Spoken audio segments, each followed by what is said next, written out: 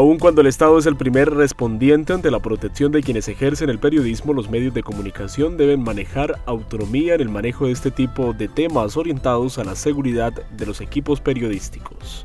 en términos de políticas de seguridad, eh, de medidas preventivas y de protocolos de, autoprotección. Entonces, desde la responsabilidad del medio y desde la creación eh, de estrategias colectivas para brindar mayores garantías de seguridad, eh, por supuesto, digamos, el medio y sus comunicadores van a tener un mayor respaldo cuando están en la región, sobre todo en regiones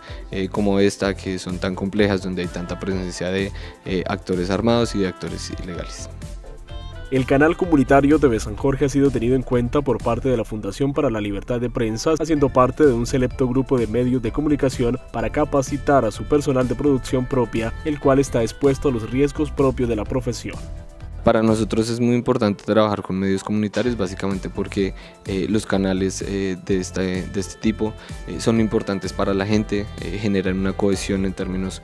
sociales y a partir de ello, digamos, como fortalecer la, la protección, tiene que ver y está muy vinculado con su relación con las personas y, y la comunidad. Entonces, de alguna forma este experimento tiene que replicarse, digamos, con otros medios comunitarios del país. Para la Fundación para la Libertad de Prensa ha sido satisfactorio trabajar con el canal comunitario de San Jorge, empresa que ha mostrado compromiso para salir adelante en temas de libertad de prensa y protección a sus equipos periodísticos.